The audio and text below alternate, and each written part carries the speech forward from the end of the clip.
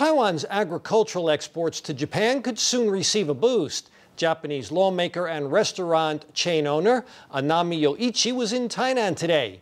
In addition to visiting Mayor Lai Ching-te, he also sourced local agriculture products.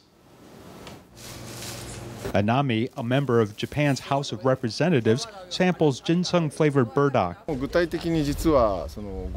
restaurant group uses burdock imported from China, but we are considering importing from another country.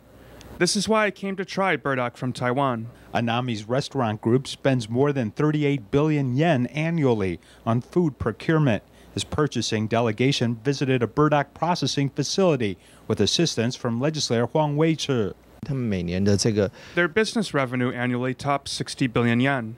If they can sample and become familiar with Taiwan's high quality agricultural products, Taiwan farmers will potentially benefit. After inspecting these agricultural products, Anami visited with Tainan Mayor Lai Ching-te.